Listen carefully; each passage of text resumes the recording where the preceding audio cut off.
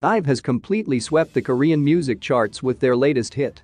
On September 13 at 10:30 a.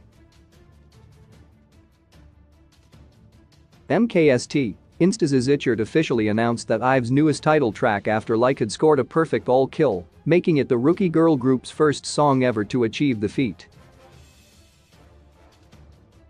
The song is awarded a certified all-kill when it is number one on the daily and top 100 charts of Melon, the daily and real-time charts of Genie and Bugs, YouTube Music's top songs chart, Vibes daily chart, and the real-time charts of FLO and iChart.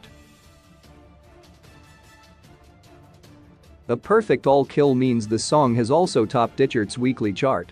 After Like is only the fourth song to achieve a perfect all-kill in 2022, following Girls' Generation's T and Zinvu, (G)I-DLE's Tomboy, and Big Bang's Still Life. Congratulations to IVE.